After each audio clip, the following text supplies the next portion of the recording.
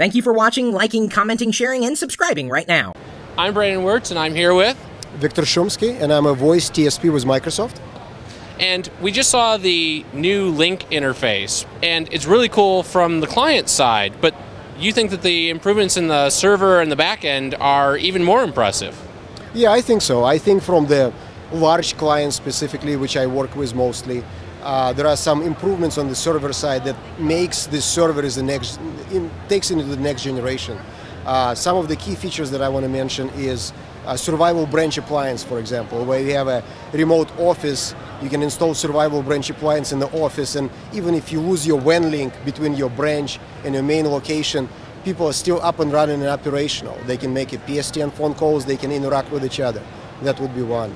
Uh, uh, it's media bypass, uh, where we pick a codec when you call making a phone call to the outside. We pick a right codec, compare, you know, uh, that is uh, workable with outside partner, and you don't have to convert your media from RT audio to G711, for example. What that allows us to do is eliminate quite a bit of mediation servers, right? And mediation servers was often, you know, given to us as an example. You have to get, you have to have so many of those, right?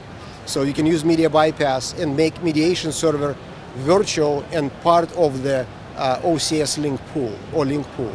And so that gives us better compatibility and better scalability with third-party devices like Polycom and other conferencing solutions? Uh, that too, but primarily what it gives you is it gives you an ability to take all the roles and make them all virtual. In Lync server, we support all the roles as a virtual roles. Uh, another, uh, another huge improvement that we have in Lync, we have new devices, and I think we have one of the devices right here, like this Polycom standalone phone.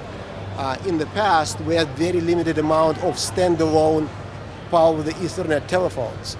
Now we have uh, several devices from Polycom and Aastra and a couple other manufacturers that you can use directly with Lync without using your laptop. And even though we believe that many people are going to go to the soft client, it's going to be always percentage of people that want to use standalone phone.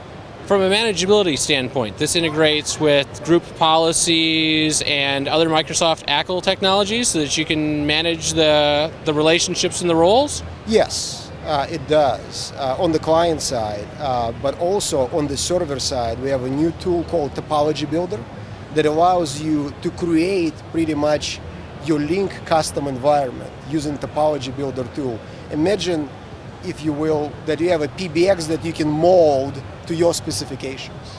And that's what allows us to do. You take a standard Lync server software and using this topology builder tool, you create your different server roles, as many uh, as you need, and the roles that you do need to accomplish what you're trying to accomplish.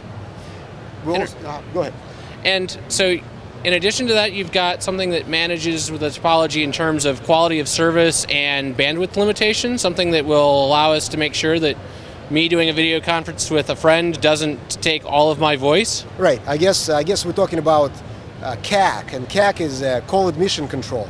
Basically, it's a tool that allows us to set policies uh, that control how many calls, voice or video calls, go through the particular LAN or WAN link. And if you have a, you know, thin points in your network, you can specify that you only allow, you know, that many calls, and each call can take that much pipe right? So along with the QoS, it's very important so you wouldn't get into the issue where you flood in the pipe with just one type of media and blocking everything else.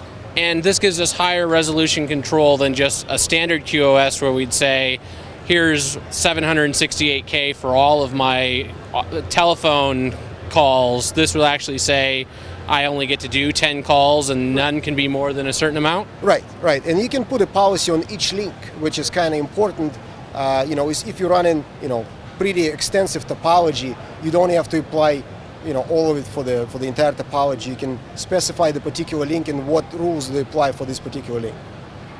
Well, thank you for your time, and thank you. Lync is pretty impressive.